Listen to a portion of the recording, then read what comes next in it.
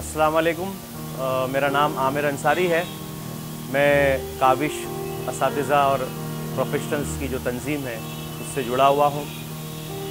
बहसत teacher और counsellor गुज्त दस सालों से हम मुख्तलिफ़ स्कूल और कॉलेज़ में तलबा और तालिबात की रहनुमाई का, तालीमी रहनुमाई का काम कर रहे हैं। शुरुआत में हमने इंडिविजुअली बहुत सारे प्रोग्राम्स किए, लेकिन जब ये काम हम कर रहे थे, उस वक्त हमने ये महसूस किया कि तलबा और तालिबात की एक बहुत बड़ी तादाद है, जो इस काम के लिए, उन पर काम करना बहुत ज़रूरी है। लिहाजा हमने इस की और काउंसलर्स की एक टीम बनाई। हमारे साथ बहुत सारे अफराद जुड़े, जो इंजीनियर्स थे, डॉक्टर्स थे।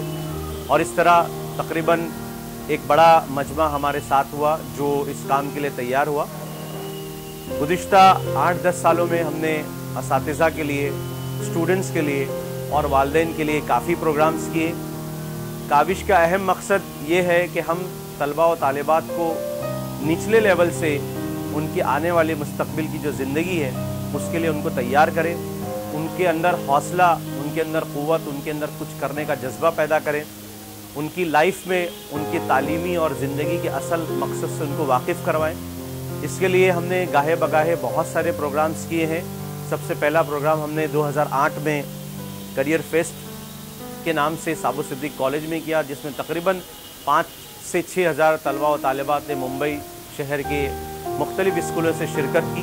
उसमें हमने सबसे पहले एक नया कंसेप्ट हमारे प्रोग्राम्स में करियर गाइडेंस के वो शुरू किया कि रोल मॉडल्स के साथ में हमने टॉक शो शुरू किया।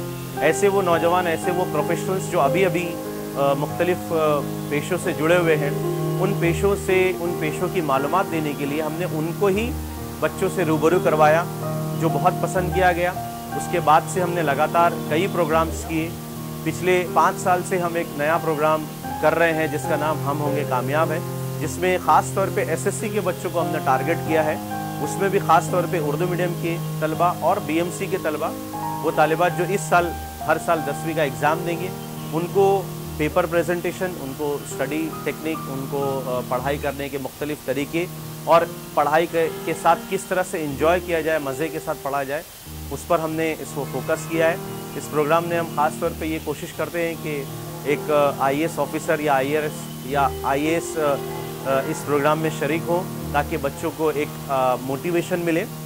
इसी तरह का एक प्रोग्राम हम पाँच दिसंबर को करने वाले हैं जो शान मुखनल हॉल शान मुखनल हॉल में पाँच दिसंबर को होने वाला है, जिसमें बतौर चीफ गेस्ट हमने कैसर अब्दुल हक जिनका ताल्लुक मालेगांव से है, उनको हमने मदू किया है, जो इसमें बात करने वाले हैं। साथ ही साथ हमने एक गेस्ट ऑफ़ ऑनर के तौर पर एनडीटीवी इंडिया के मुंबई के जो एसोसिएट पॉलिटिकल एडिटर हैं जनाब प्रसाद काते साहब, उनको भी हमने मदू किया है, जो as a guest of honour हमारे स्टूडेंट से बात करेंगे।